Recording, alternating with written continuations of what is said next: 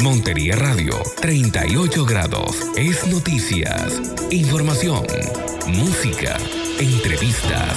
Escúchanos en nuestro aplicativo móvil.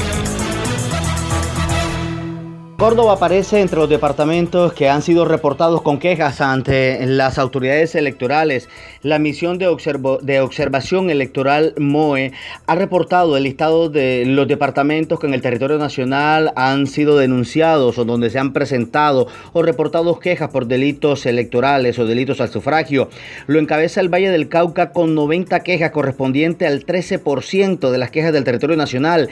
Le sigue Antioquia con el 85%, con el con 85 quejas, mejor que corresponden a un 13%. Bolívar, el primer departamento de la costa caribe colombiana, que aparece precisamente con un alto reporte, 74 quejas correspondientes al 11% de quejas nacionales.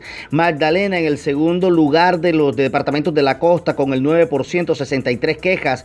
Bogotá, Distrito Capital, 48 quejas. El caso del departamento de Córdoba aparece con 15 quejas correspondientes solo al 2% de las quejas reportadas en el territorio territorio nacional. De igual manera, la MOE ha explicado, la misión de observación electoral, que la mayoría de las quejas se han reportado por irregularidades en el voto libre, 176 quejas en referencia eh, precisamente de lo que corresponde al territorio nacional, irregularidades eh, de las autoridades electorales, están hablando de cerca del 26% de las quejas, irregularidades en publicidad y medios de comunicación, hay 140 quejas.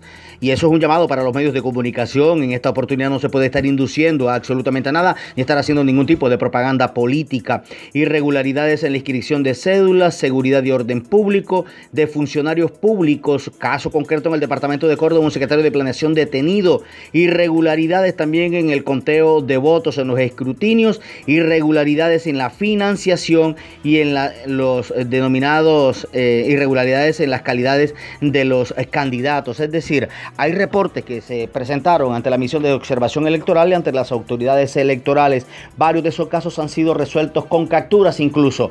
Está Montería Radio 38 grados informando elecciones 2015. Montería Radio 38 grados es noticias, información, música, entrevistas. Escúchanos en nuestro aplicativo móvil.